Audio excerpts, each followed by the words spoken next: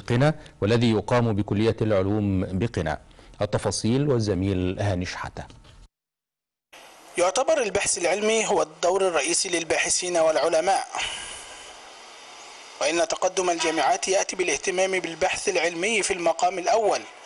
ولا تدخر جامعة جنوب الوادي جهدا في دعم المؤتمرات البحثية والعلمية وذلك للنهوض بعملية البحث العلمي. إحنا سعداء النهارده بانعقاد هذا المؤتمر في جامعه جنوب الوادي. وده المؤتمر الرابع لكن كل سنة بيبقى فيه تغيير وفيه تطور كبير هائل. السنة دي حاضر معنا طلاب لأول مرة طلاب في مرحلة البكالوريوس من من أسوان ومن المنيا. ودول حاصلين على مشروعات بحثية من أكاديمية البحث العلمي وطبعا في عندنا عدد كبير من المشاركين سواء كان من كلية العلوم أو من الهندسة أو من الحاسبات والمعلومات من الجامعة وعدد كبير من الأبحاث الحقيقة بيشاركوا فيه. لكن المهم في المؤتمر ده إنه بيلتقي شباب الباحثين وبيتعلم كويس خالص كيفية إلقاء البحوث وكيفية التدرب على عمل البحوث العلمية. لأنه ده هو اللي بينقله مستقبلا للمؤتمرات الدولية اللي إحنا المفروض بنطمح إليها بالنسبة للباحثين من جنوب الوادي. وده يمكن انعكس ايجابيا على الجامعة وخاصة في تقدم الجامعة في المواقع العلمية وبين الجامعات سواء كانت جامعات على مستوى مصر أو على مستوى الجامعات العربية أو على مستوى الجامعات الأفريقية أو حتى على المستوى الدولي. النهارده في عدد كبير من المشروعات البحثيه مشاركين فيها كجنوب الوادي باحثين من مختلف الكليات وبيشاركوا والحقيقة بيحصل اتصال كبير من الجامعات من الاتحاد الأوروبي بيطلبوا مننا المشاركة في بعض المشروعات البحثية. كمان إحنا عندنا داخل الجامعة عملنا مكتب كبير للبحث العلمي وخاصة بالعلاقات الدولية. وفيه عدد من الزملاء الأعزاء اللي هم مهتمين بهذا الموضوع ودرسوا بره وعارفين كويس خالص كيفية التعامل مع الخارج. هم اللي بيبقوا مسؤولون وكيفين وكيفية الحصول على الدعم المناسب للبحث العلمي. المؤتمر الرابع شباب الباحثين لقطاع العلوم الأساسية والهندسية.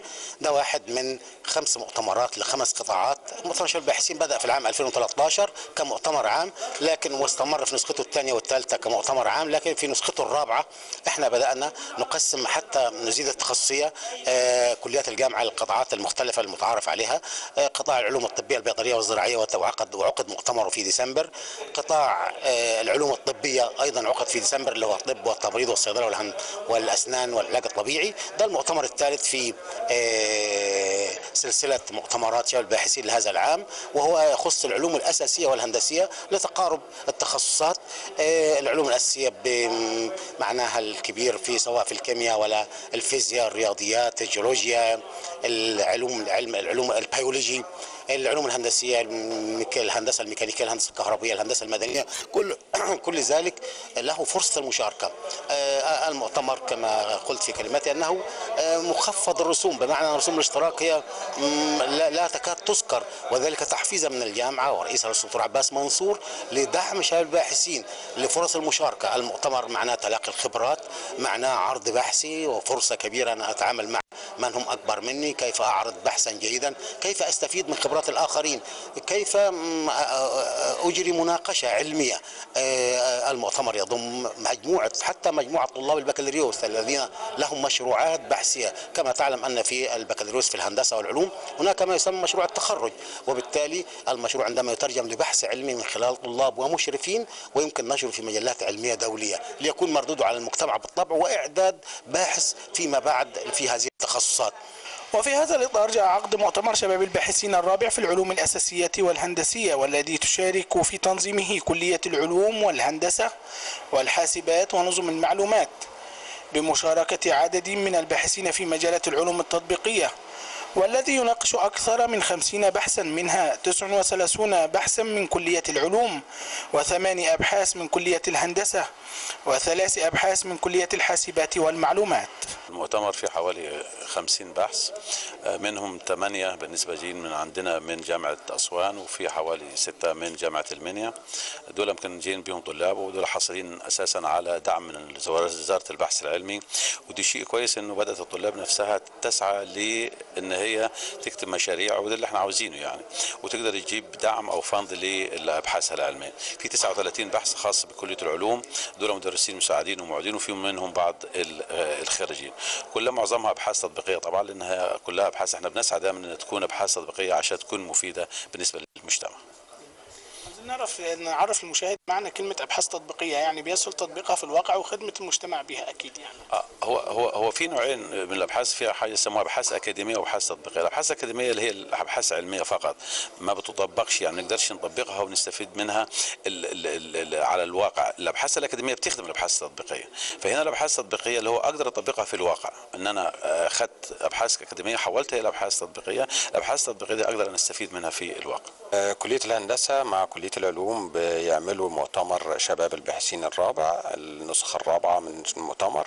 كان فيه الثلاث نسخ اللي قبل كده كان مؤتمر عام لكل التخصصات فبدأوا يبقوا فيه آه، قطاعات مختلفة طبقا للتخصص والتكامل بين ال- ال- الكليات المختلفة في التخصصات. فبتلاقي إن كلية الهندسة في تعاون لصيق بينها وبين كلية العلوم في التخصصات آه، زي التخصصات بتاعة المواد الهندسية تشترك مع بتوع فيزياء تشترك مع بتوع كيمياء آه، آه، ففيه مشاركة ما بين ال- التخصصات المختلفة في كلية علوم والتخصصات اللي في كلية الهندسة. كلية الهندسة مشاركة بثمان أبحاث آه، في مجالات ال- الهندسة الكهربية والهندسة الميكانيكية والهندسة المدنية في التخصصات المختلفة. بالنسبة لنوعية البحث أنا ب- بعمل بحث إلقاء في مجال ال- الكيمياء التطبيقية كيمياء البوليمرات آه، وتطبيق البوليمر ده أنا بحضر مخلق مر- بوليمرات جديدة وببدأ أطبق البوليمرات دي في آه، تقدير الخلايا الشمسية آه، لأن طبعا أنت عارف إن الفترة اللي جاية دي كلها هتبقى نعتمد اعتماد كلي على الطاقة المتجددة ومصادر مختلفة للطاقة. فبدأ التطبيق بتاع الشغل بتاعنا في مجال الخلايا الشمسية العضوية والحمد لله توصلت نتائج كويسة في الشغل ده. والنهاردة بن- بنشر البيبر بتاعتي دي في مجلة آه، دولية وفي نفس الوقت في المؤتمر في بحث إلقاء آه، وحابب أن أشكر جدا رئيس الجامعة وسيادة النائب إن مشاركتهم ودعمهم المستمر لشباب الباحثين في الجامعة. والمؤتمرات دي طبعا بتكون فرصة كويسة جدا لتلاقي ال- الفكر العلمي المختلف وبرضه بي- بيدي لك فرص جديدة مثلا في ناس متخصصين في نفس التخصص بتاعك أو مختلفين بيدوك برضه notes معينة في المجال بتاعك أو في الشغل بتاعك بحيث إن هم يساعدوك أو يسهل على الباحث إن هو ينشر البيبر بتاعته ويلاقي جدل علمي سليم يوفقه في الوصول للهدف ال- البحثي العلمي المطلوب منه. مؤتمر شباب الباحثين الرابع الذي تنظمه كلية العلوم وكلية الهندسة وكلية الحاسبات والمعلومات بجامعة جنوب الوادي هو طفرة في مجال المؤتمرات الأبحاث التطبيقية من أجل إفادة المجتمع. من محافظة قنا عدس المدثر يوسف ومحدثكم عن شحاتة لأخبار الديوة